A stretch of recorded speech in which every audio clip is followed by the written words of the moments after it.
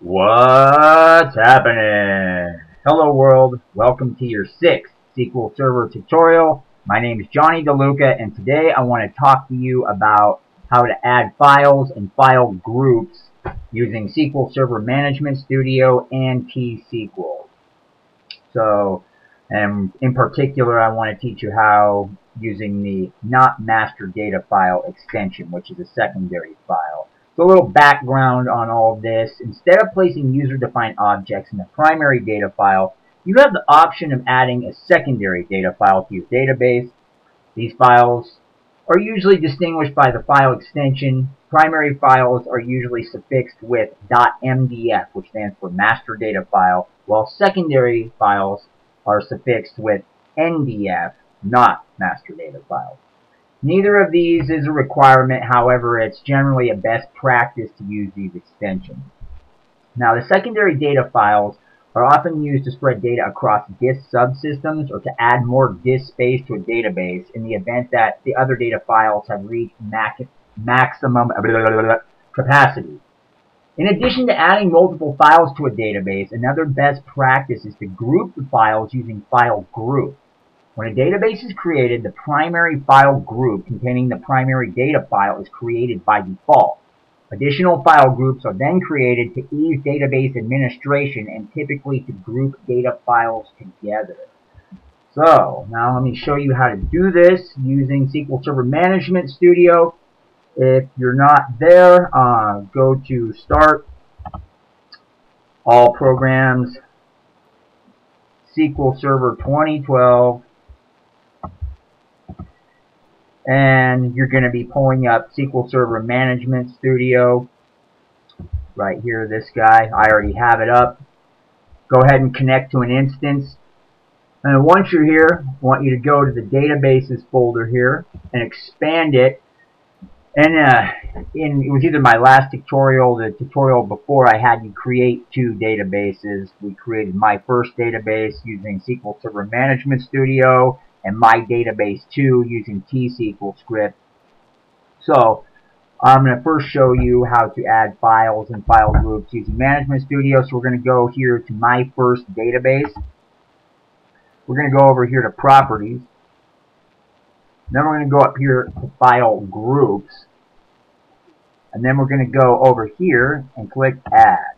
Now, give it a name. How about Group 1?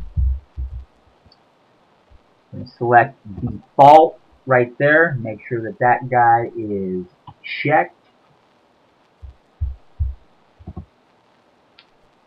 Now that we've done that, we're going to go up to here where it says select a page, and we're going to go to Files. And then from here, we are going to click Add. And then here, under logical name, let's give this a name. How about FSMS1? Alright. Now here in the file group column, we're going to click and then we see the drop down. We want to make sure we have group 1 selected that we just created. We do. Now we're going to go over here to the path column, click, click the ellipsis button and we want to browse to SQL data. a couple tutorials ago, I had you create the SQL data and the SQL log folders on your C drive. Make sure that's selected. Alright, now here in the file name, we're going to give this a name. We're going to call it uh, SS, excuse me, SSMS1 and then we're going to give it the .ndf extension so we know it's not master data file. Alright, and then we're going to click OK. Alright, so that's how you do add files and file groups, a real brief overview using SQL Server Management Studio. Now I'm going to show you how to do the same using a T-SQL script, and this is going to be we're going to be adding this to my database 2 here. Now, before to save some time, I, I have a folder of all kinds of useful scripts, and this is one of them, so I already have this copied and pasted to save some typing time. We're going to click New Query. We're going to click paste. And Not really sure why it, I didn't really want it to be laid out in that manner. Hang on just a moment.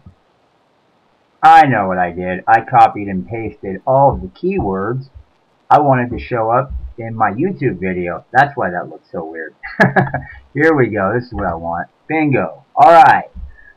So, as I, I think I explained what most of this means to you last time in a different uh, tutorial where I went over like what name and file name is and max size and file growth. So if you need to review that, go back to my last tutorial and gives you a breakdown. But anyways, you can uh, copy down this script for yourself if you want and save it. Anyways, we're going to execute.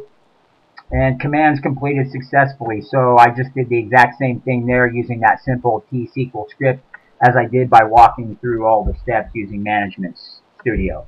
So there it is. Real simple, easy, brief overview of how to add files and file groups using SQL Server Management Studio and using T-SQL. Hope you enjoyed the tutorial. As always, if you have any comments or questions, please leave them below in the comments and questions in the comments section. Thanks for stopping by my YouTube channel, and I'll see you in the next tutorial.